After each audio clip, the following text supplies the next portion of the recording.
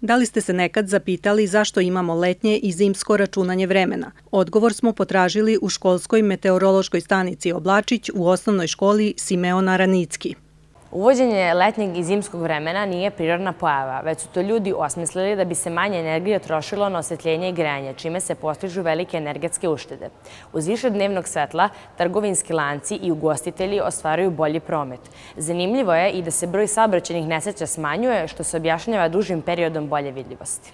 Dakle, razlozi za ovakvo pomeranje vremena su pre svega ekonomske prirode, međutim, takve promene utiču na naše zdravlje. Pomeranje kazaljke na satu, e, satu napred ili satu nazad utiče na zdravstveno stanje ljudi i tome su najviše podložni e, srčani bolesnici, astmatičari i psihijatrijski pacijenti, dakle naši hronični e, bolesnici.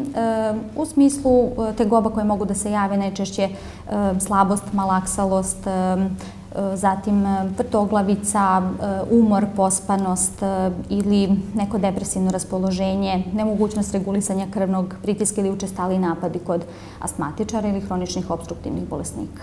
Pravo astronomsko vreme je ovo zimsko, dok je letnje naša intervencija, odnosno to je ukazano vreme jer ga država propisuje ukazom.